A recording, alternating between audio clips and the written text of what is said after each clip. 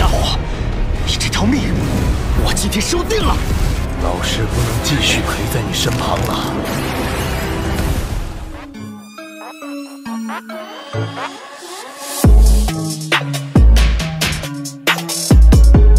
Halo para tetua, para pecinta Battle True Heavens dimanapun kalian berada Gimana nih kabar para tetua yang selalu stay dan udah selalu meramaikan kolom komentar Udah siap kancut dengan perjalanan dari Mang Oyan Kuilah gak usah pakai lama-lama lagi Kita kancutan dan selamat berimajinasi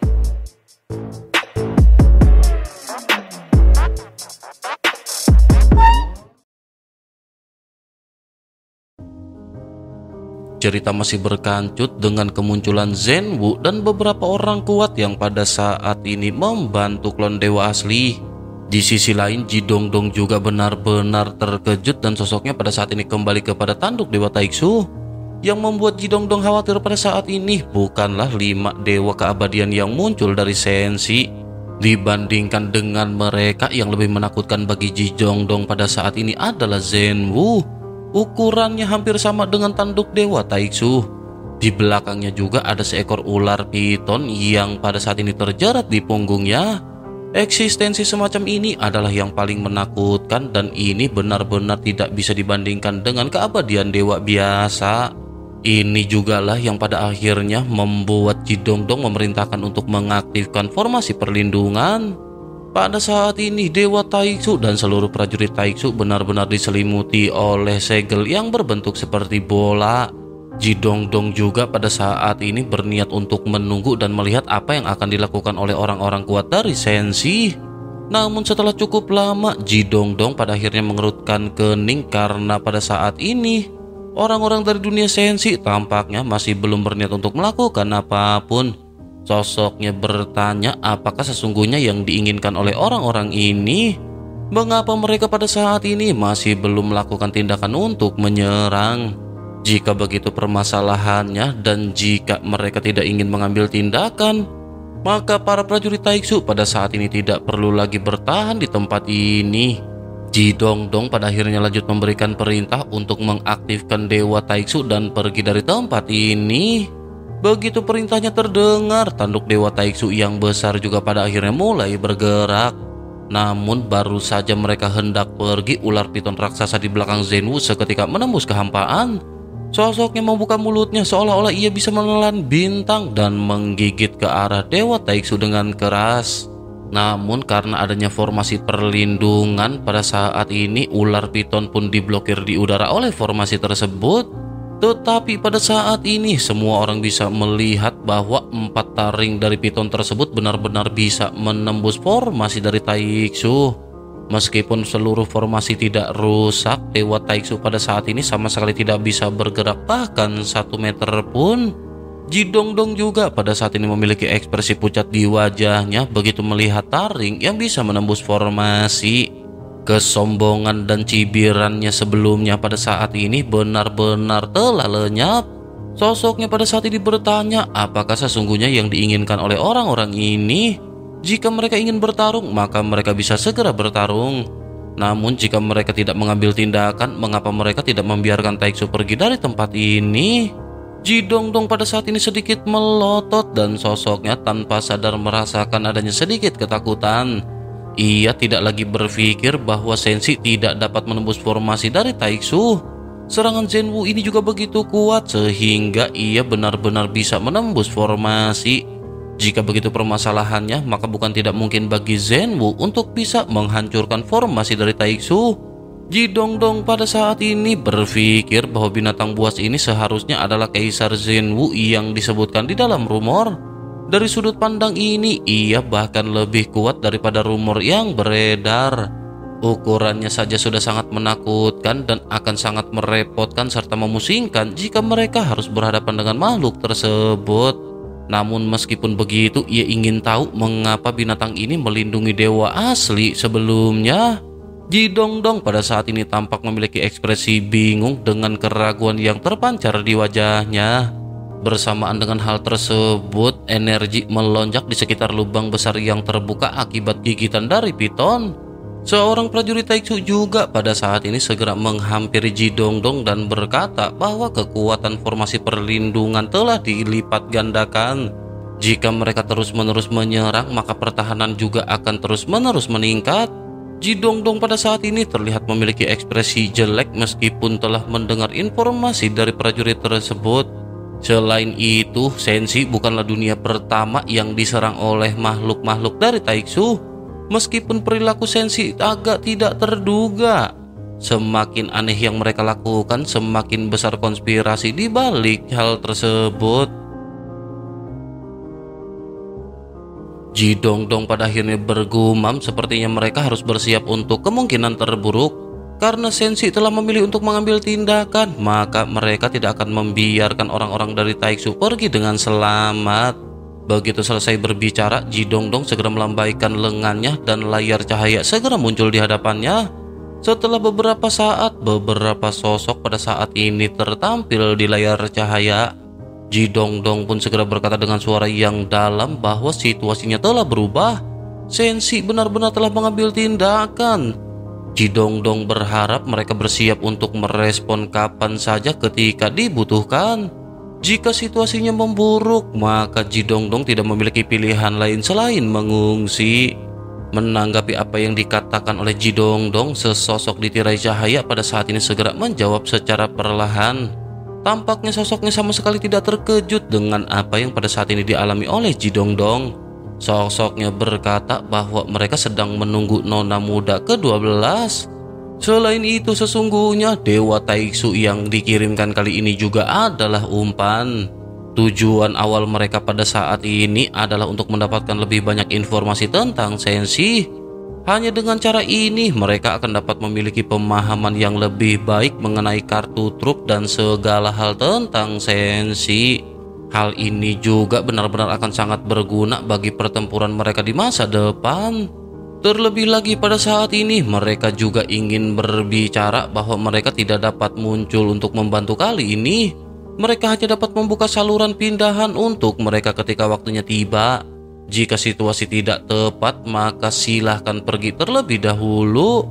Mendengar hal tersebut, pada saat ini Ji Dongdong segera mengangguk dengan ekspresi penuh hormat di wajahnya.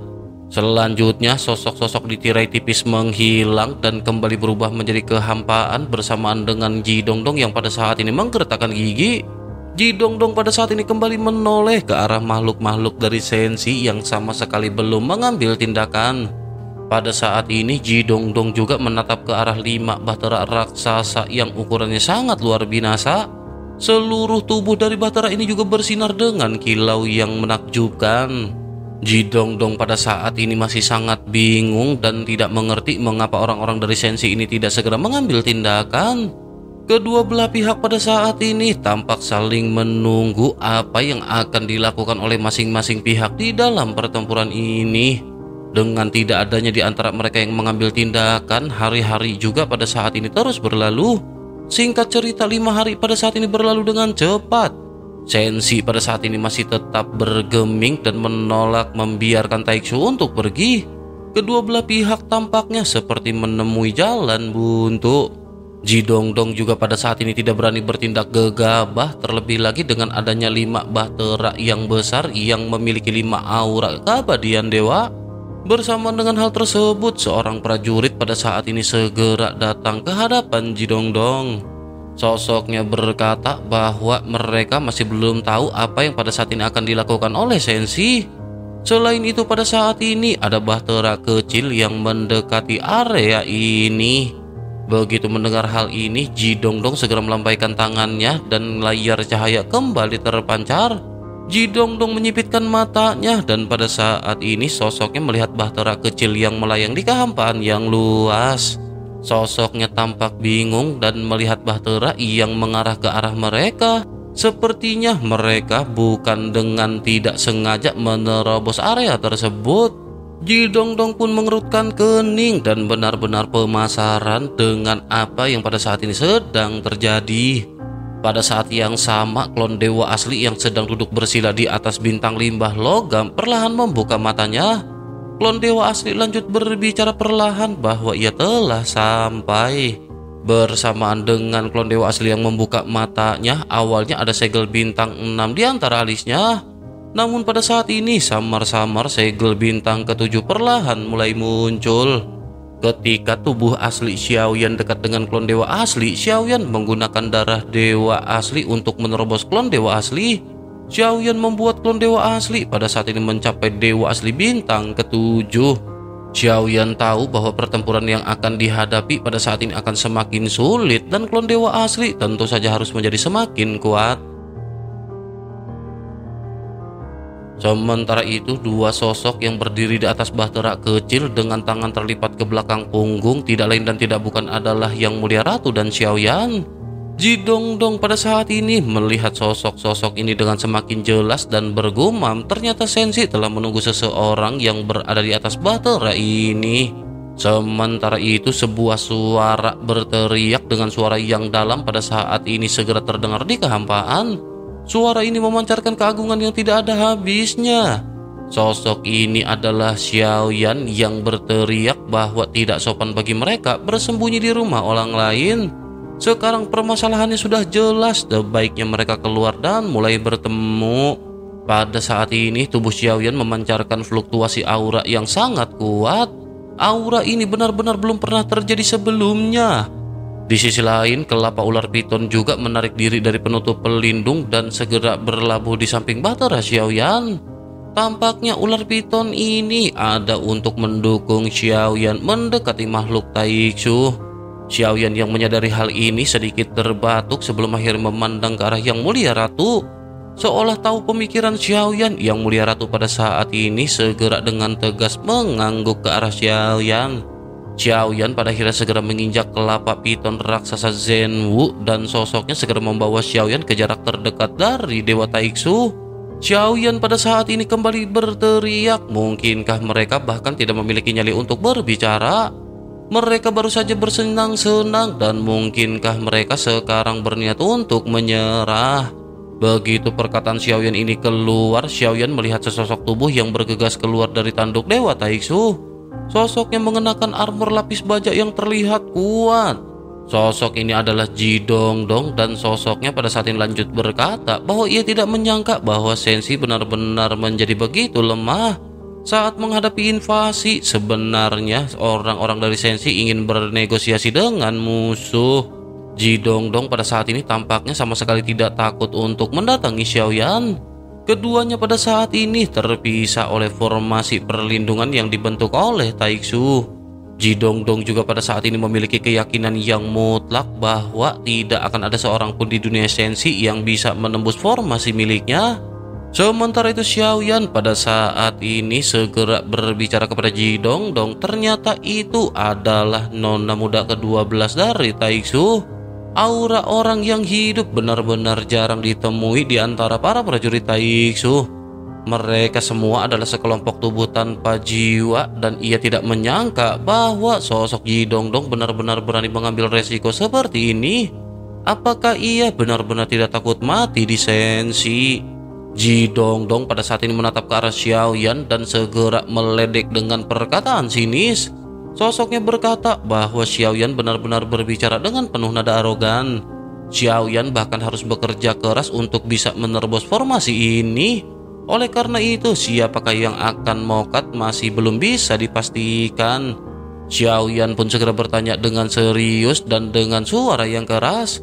Xiaoyan bertanya apakah Ji Dongdong mengatakan bahwa formasi ini sangat kuat sehingga merupakan formasi pelindung terbaik di dunianya dan tidak ada seorang pun di sensi yang dapat memecahkannya. Ji Dongdong pun menyilangkan tangannya dan sosoknya pada saat ini tampak dipenuhi dengan kesombongan. Sosoknya berkata bahwa dalam hal segel menyegel, Taixu dipenuhi dengan sosok-sosok yang benar-benar memiliki kemampuan segel terbaik di antara sembilan alam. Oleh karena itu, pada saat ini bagaimana mungkin makhluk rendahan dan lemah dari sensi bisa mematahkan formasi mereka? Xiao Yan pun sedikit tersenyum dan segera menepuk memerintahkan Goyan untuk keluar. Goyan lanjut berkata sebaiknya Goyan pada saat ini memberikan mereka pelajaran. Sosok Goyan pun seketika keluar dengan tampilan bola mata biru bundar yang tampak aneh. Tubuh yang seukuran telapak tangan pada saat ini mengambang di hadapan formasi. Cahaya biru juga pada saat ini tiba-tiba keluar dari mata besar tersebut. Goyan juga pada saat ini berkata bahwa sejauh ini sebagian besar segel yang dilihat Goyan benar-benar cukup kuat. Goyan juga benar-benar ingin melihat teknik pengekangan seperti apa yang begitu tak terkalahkan di sembilan alam. Cahaya biru pada akhirnya terus-menerus melonjak di mata Goyan, tetapi jika dibandingkan dengan besarnya formasi, cahaya biru ini tampak terlihat tidak begitu berarti. Jidong Dong pun kembali meledek dan tampak benar-benar tidak peduli dengan perkataan Goyan. Sosoknya berkata bahwa ini benar-benar hantu yang aneh. Sebaiknya Xiaoyan pada saat ini harus mencari seorang yang benar-benar dapat diandalkan. Begitu perkataan ini terdengar, sesaat berikutnya tubuh Goyan yang kecil seperti bola karet yang mengembang. Tubuh Goyan seketika dengan cepat berukuran menjadi ratusan meter. Cahaya biru juga tiba-tiba meledak dan senyum di wajah Jidong Dong langsung membeku. Tentu saja apa yang membuat ekspresi Jidong Dong berubah adalah seluruh formasi ini benar-benar mulai bergetar. Ia dapat dengan jelas merasakan bahwa formasi perlindungan mereka sedang dihancurkan. Ekspresi arogan di wajahnya juga menghilang ketika ia bergumam sungguh sangat sial bola mata biru besar apakah ini? Sesaat kemudian terdengar suara teredam dan riak pada saat ini muncul di formasi perlindungan Taiksu. Xiaoyan juga pada saat ini segera berkata agar Goyan menghancurkan formasi ini dan memberitahu Taixu bahwa itu bukan yang terbaik dalam teknik segel. Goyan pada saat ini mengangguk dan bergumam bahwa Goyan saja bahkan tidak berani mengklaim sebagai yang terbaik di dunia ini. Meskipun formasi ini cukup indah, tetapi ini belum menjadi formasi terbaik dan mudah untuk dihancurkan. Selain itu, formasi ini juga membuat Goyan merasakan perasaan familiar. Goyan seolah-olah pernah melihat formasi ini sebelumnya. Sementara itu di sisi lain, Xiaoyan pada saat ini segera berteriak bahwa Taixu telah menindas klon Xiaoyan dan sekarang ia benar-benar harus menanggung semuanya. Sosok Xiaoyan pada akhirnya mulai melesat dan meninju dan bersamaan dengan hal tersebut, Klon dewa asli telah bergegas dari kejauhan dan di bawah tatapan Jidong Dong, kedua sosok pada saat ini terlihat bergabung menjadi satu. Jidong Dong pun segera berkata dengan keheranan, mungkinkah klan dewa asli ini adalah klon Xiaoyan? Jidong Dong sepertinya tidak menyangka bahwa klan dewa asli suatu hari nanti akan menjadi klon milik orang lain. Dikatakan bahwa para dewa asli dilindungi oleh jejak leluhur mereka dan sulit untuk mengambil tubuh mereka. Bahkan jika ada orang yang bisa mengambil tubuh mereka, mereka akan mendapatkan serangan balik karenanya. Oleh karena itu, para dewa asli ini semuanya benar-benar begitu bangga dengan kemampuan tersebut. Hanya ada sedikit kasus di mana mereka benar-benar berakhir dengan menjadi boneka atau klon dari orang lain. Jidongdong pada saat ini mengerutkan kening sebelum akhirnya Jidongdong juga melihat adanya tanda dewa jahat yang berkilat di antara Li Xiaoyan. Begitu Jidongdong melihat tanda ini, matanya kembali menyipit seolah-olah ia mengenalinya. Ada tujuh segel bintang dewa asli yang berkedip di antara alis Xiaoyan. Ledakan pada akhirnya terjadi dengan formasi yang pada saat ini dihancurkan bersamaan dengan pukulan Xiaoyan yang bergetar.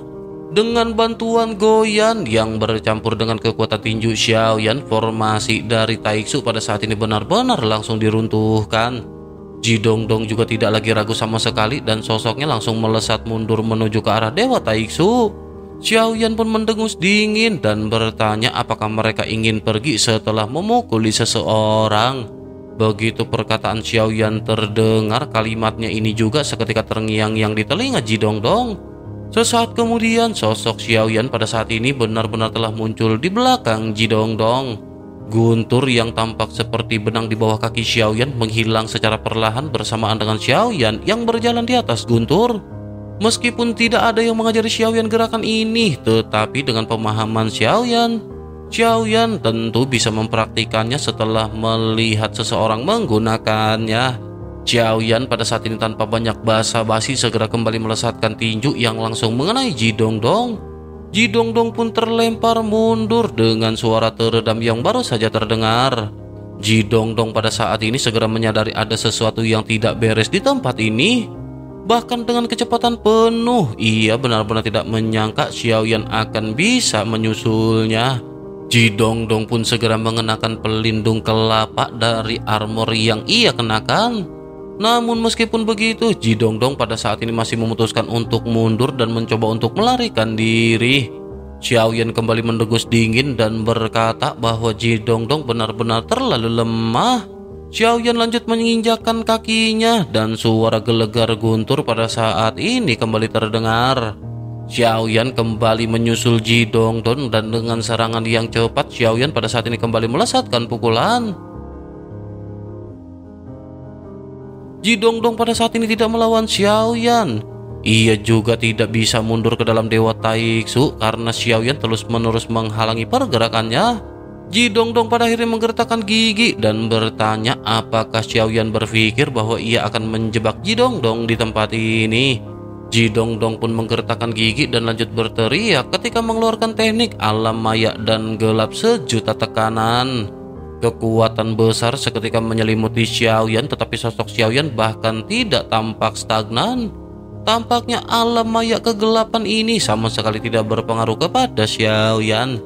Tinju Xiaoyan terus menyelimuti Ji Dongdong dan Ji Dongdong harus mengambil tindakan untuk menahan serangan Xiaoyan. Banyak benturan seketika terjadi dengan tinju Xiaoyan yang terus-menerus bergema berhadapan dengan Ji Dongdong. Keduanya bertarung di udara dan Xiaoyan pada saat ini tampak berada di atas angin. Melihat pertempuran sengit ini, sesosok pria yang berada di atas salah satu bahtera di samping Zenwu segera mulai berbicara. Sosoknya berkata bahwa satu tetes esensi darah yang mulia ini seharusnya cukup untuk menghabisi nona muda ke-12 dari Taiksu. Namun meskipun begitu, setelah pertempuran, Xiaoyan akan menghabiskan banyak energi di dalam tubuhnya. Ternyata alasan mengapa Xiaoyan pada saat ini bisa bersaing dengan Ji Dongdong yang merupakan keabadian dewa adalah karena Xiaoyan menelan setetes esensi darah yang mulia.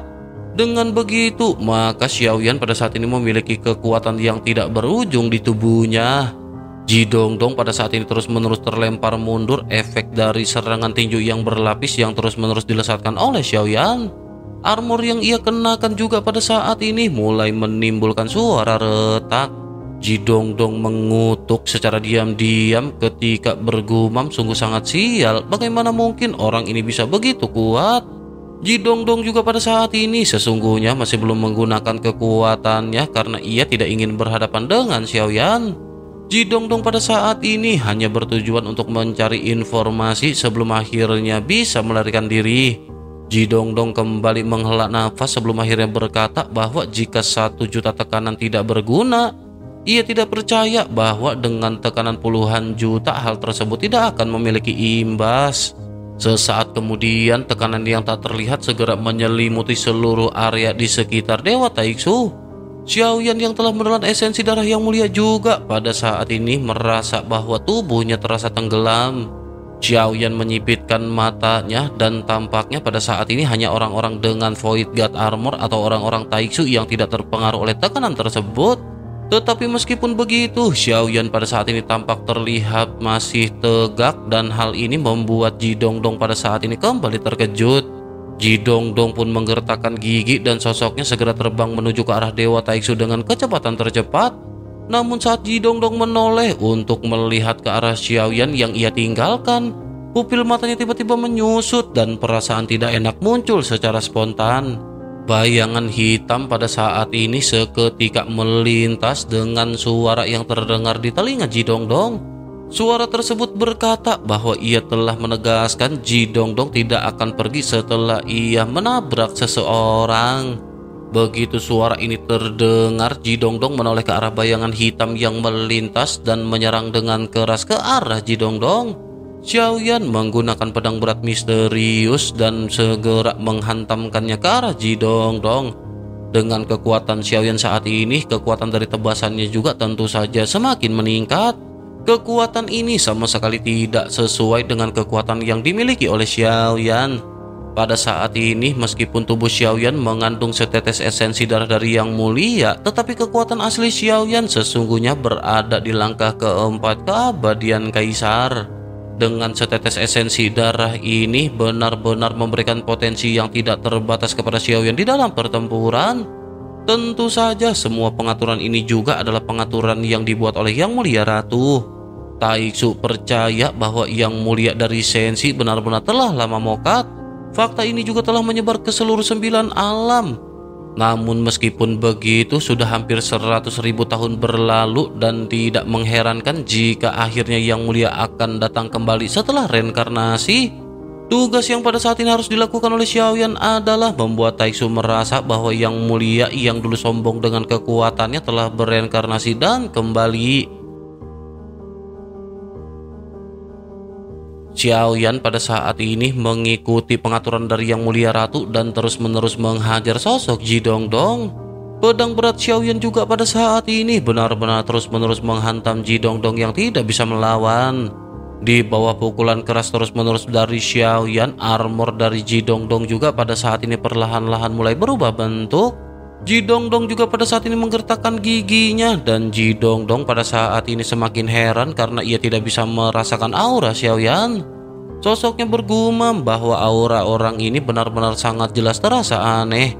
Ia tidak bisa merasakan kekuatan sosok tersebut tetapi daya tempurnya benar-benar begitu kuat. Setiap kali ia melesatkan serangan, pukulannya benar-benar tidak kalah dengan dewa keabadian tingkat mana pun. Sementara itu di sisi lain, Xiaoyan pada saat ini segera melesat dan melangkahkan satu kakinya ke depan. Selanjutnya Xiaoyan mengambil tujuh langkah berturut-turut dengan telapak kakinya. Xiaoyan tidak pernah merasa bahwa Xiaoyan bisa menggunakan teknik tujuh langkah mengejutkan para dewa dengan begitu mudah. Tujuh bayangan kaki di udara yang sangat kokoh pada saat ini seketika turun secara berurutan. Kekuatan ini juga mengandung kekuatan yang begitu menakutkan yang belum pernah terjadi sebelumnya. Meskipun Xiaoyan pada saat ini tidak melihat ekspresi dari Ji Dongdong karena ia mengenakan topeng, tetapi nyatanya ekspresi di wajah Ji Dongdong pada saat ini benar-benar tidak lagi bisa terkendali. Ia pada saat ini kembali teringat tanda yang berkedip di antara alis Xiaoyan yang merupakan tanda dari dewa jahat. Sosoknya pun bergumam, mungkinkah orang ini adalah reinkarnasi dari dewa jahat yang dikabarkan juga telah mokat. Ji Dongdong belum sempat memastikan identitas dari Xiaoyan mengenai dewa jahat. Namun kali ini ia kembali dikejutkan dan matanya menyipit begitu melihat teknik yang dikeluarkan oleh Xiaoyan. Teknik tujuh langkah mengejutkan ini merupakan teknik atau skill bertarung yang mulia yang terkenal. Teknik ini juga merupakan skill bertarung yang sering digunakan oleh Yang Mulia. Meski jauh berbeda dengan kekuatan yang dirumorkan, kini nampaknya tujuh langkah mengejutkan ini benar-benar tampak nyata. Ji Dongdong pada akhirnya lanjut bergumam, mungkinkah orang ini adalah Yang Mulia? Mansion Surgawi pernah berkata bahwa mereka telah mengejar dan berusaha menangkap reinkarnasi Yang Mulia. Tampaknya para pecundang ini pasti gagal dan mereka tidak bisa berhadapan dengan sosok reinkarnasi yang mulia. Mereka juga menyebutkan bahwa reinkarnasi yang mulia ini menggunakan pedang besar dan mengenakan jubah berwarna hitam. Jika dilihat dari penampilan dasarnya, orang ini sangat mirip dengan apa yang digambarkan oleh Mansion Surgawi. Jika begitu permasalahannya, maka orang ini pastilah merupakan reinkarnasi dari yang mulia. Ji Dong Dong pada saat ini benar-benar terkejut dan pada saat yang bersamaan Ji Dong Dong telah menyampaikan apa yang ia ketahui melalui armor di tubuhnya. Ji Dong Dong tahu bahwa akan sangat sulit baginya untuk pergi hari ini oleh karena itu Ji Dong Dong segera mengirimkan informasi tersebut. Ji Dong Dong lanjut menggertakkan giginya dan begitu merasakan perbedaan kekuatan yang sangat besar di antara kedua belah pihak. Ji Dongdong sadar bahwa ia akan mokat jika ia terus memaksa untuk bertempur. Selain itu ada beberapa dewa keabadian yang belum muncul dan mereka benar-benar tidak akan bisa bertahan. Ji Dongdong pada akhirnya segera berteriak agar semua prajurit Taiksu mematuhi perintah dan keluar untuk membantu Ji Dongdong mencekik pria ini. Begitu teriakannya terdengar, sosok-sosok padat seketika berkerumun dari Dewa Taiksu. Sosok-sosok yang mengenakan Void God Armor pada saat ini segera langsung mengelilingi Xiaoyan. Ada juga sosok-sosok yang langsung melesat menuju ke arah telapak kaki yang dilesatkan oleh Xiaoyan. Mereka berusaha untuk menahan lesatan kaki milik Xiaoyan dan begitu mereka diambang batas, mereka akan langsung meledakkan diri berikut dengan armor mereka masing-masing. Xiaoyan pada saat ini bisa melihat pikiran Ji Dongdong secara sekilas dari apa yang baru saja dilakukan oleh banyak makhluk Taixu. Awalnya Ji Dongdong berniat untuk melarikan diri, tetapi sekarang tampaknya pikirannya benar-benar telah mulai menjadi gila. Ji Dongdong merasa bahwa mereka tidak akan bisa menang dan tampaknya mereka akan bertarung mati-matian. Xiaoyan pada saat ini menatap ke arah sosok-sosok Taixu yang melesat ke arah langkah kaki yang dilesatkan oleh Xiaoyan. Mereka benar-benar langsung meledakkan Void God Armor begitu juga dengan tubuh mereka masing-masing. Xiaoyan mengerutkan kening dan Xiaoyan tidak terlalu terkejut karena semua makhluk dari Taixu adalah pejuang yang rela mati. Selama Jidongdong memberi perintah, banyak sekali sosok yang akan melesat keluar dalam sekejap mereka akan menghancurkan diri mereka untuk memblokir serangan Xiaoyan terlepas apakah mereka harus mokat atau tidak. Dengan banyaknya pengeboman dari makhluk-makhluk Taixu pada akhirnya langkah kaki Xiaoyan pada saat ini benar-benar dihancurkan. Xiaoyan pada saat ini menggertakkan gigi dan Xiaoyan mengetahui bahwa prajurit Taixu ini tidak memiliki jiwa dan tampak terlihat seperti orang biasa. Namun meskipun begitu, keinginan mereka sesungguhnya semuanya diciptakan oleh Taixu.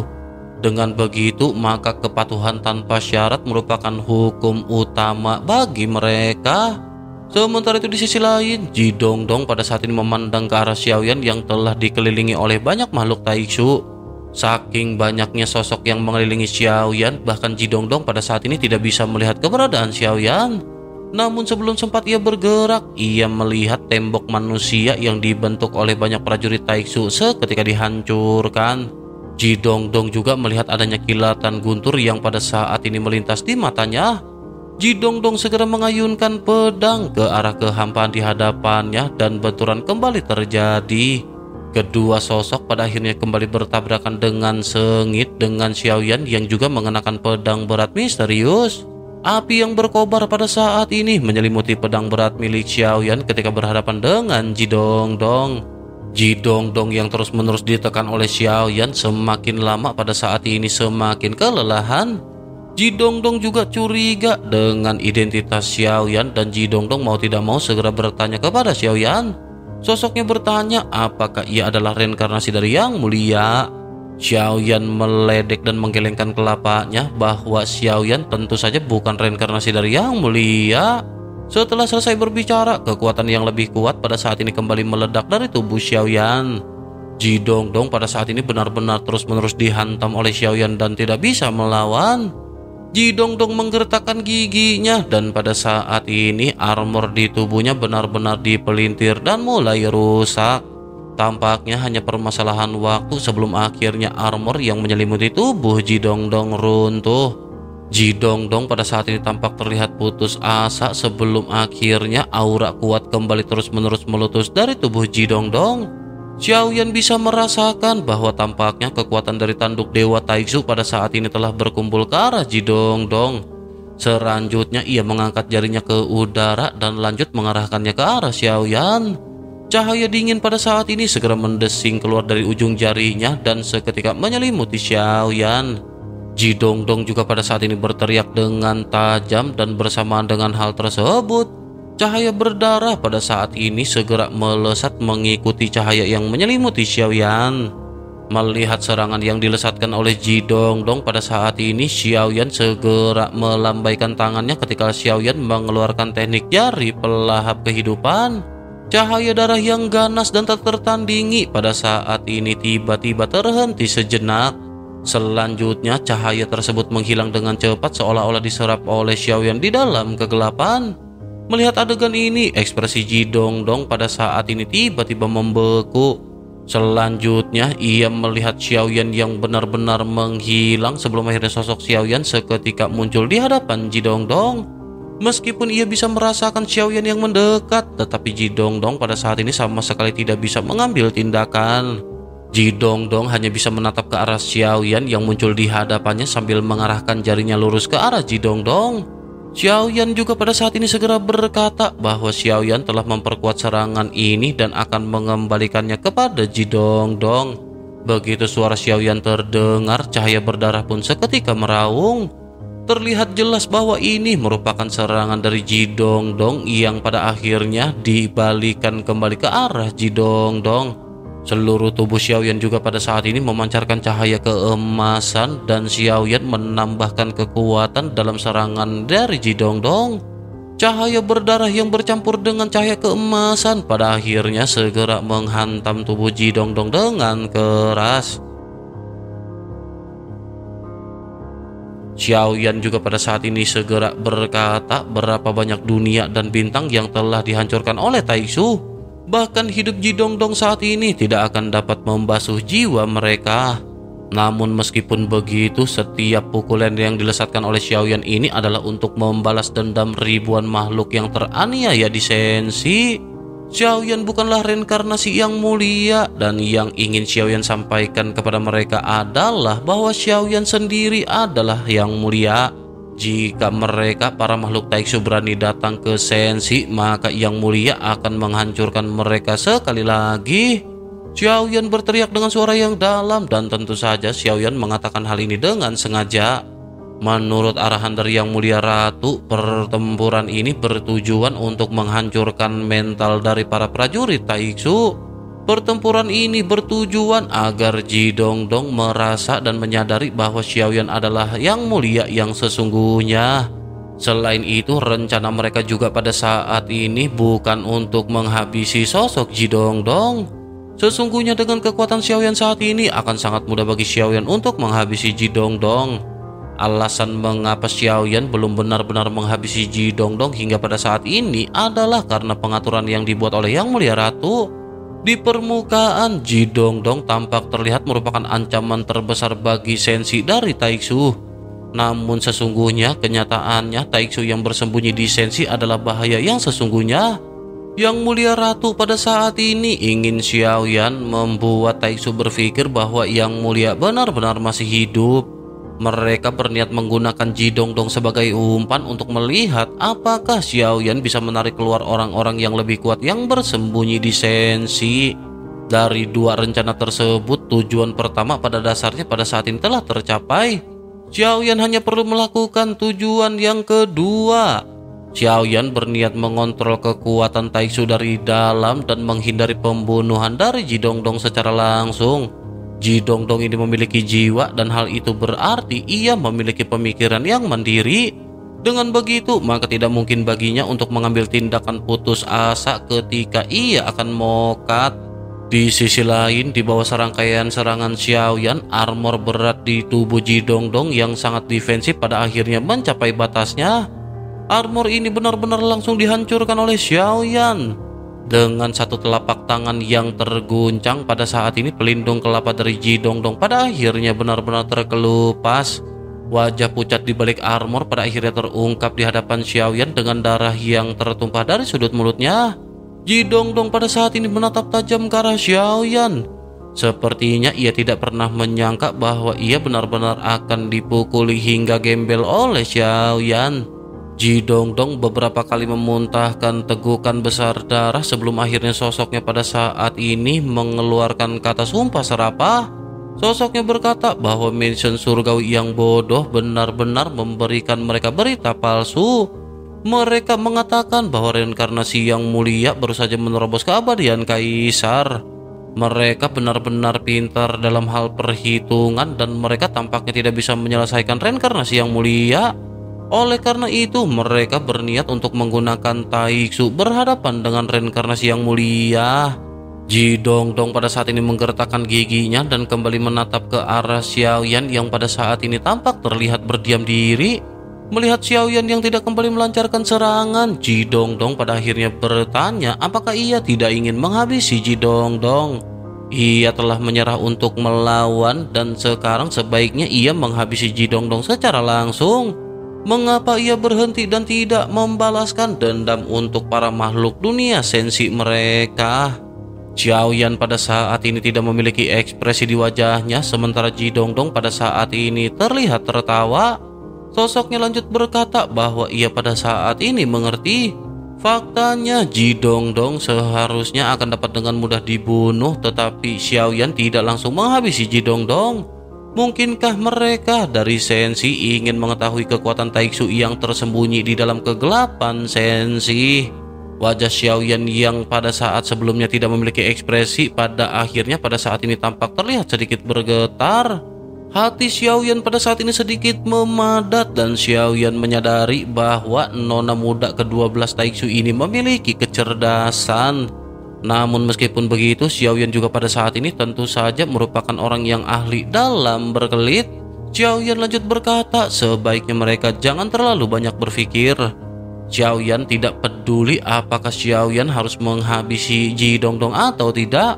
Xiaoyan hanya ingin mendengar apa yang pada saat ini akan dikatakan oleh Ji Dongdong. Selain itu, ini juga pertama kalinya Xiaoyan mendengar bahwa Taishu masih memiliki kekuatan lain yang tersembunyi di Sensi. Xiao Yan juga tidak memperhatikannya sebelumnya. Terlebih lagi, Sensi juga tidak akan pernah takut pada Taiksu. Entah itu mereka berada di kegelapan atau di tempat terbuka, jika mereka berani datang, Sensi akan langsung menghabisi mereka tanpa ampun. Percakapan antara kedua belah pihak pada saat ini tampaknya adalah tentang menguji satu sama lain. Ji Dongdong pada saat ini juga mencoba menguji Xiaoyan. Namun Xiaoyan juga pandai dalam hal seperti ini terlebih lagi dalam perihal acting. Menanggapi apa yang dikatakan oleh Xiaoyan sebelumnya, Ji Dongdong pada saat ini memandang ke arah Xiaoyan dengan penuh semangat. Sosoknya bertanya apakah Sensi benar-benar tidak takut kepada Taiksu. Dunia yang luas juga dulunya merupakan orang-orang yang sangat sombong seperti Xiaoyan. Tahukah Xiaoyan bagaimana keadaan dari dunia yang luas pada saat ini?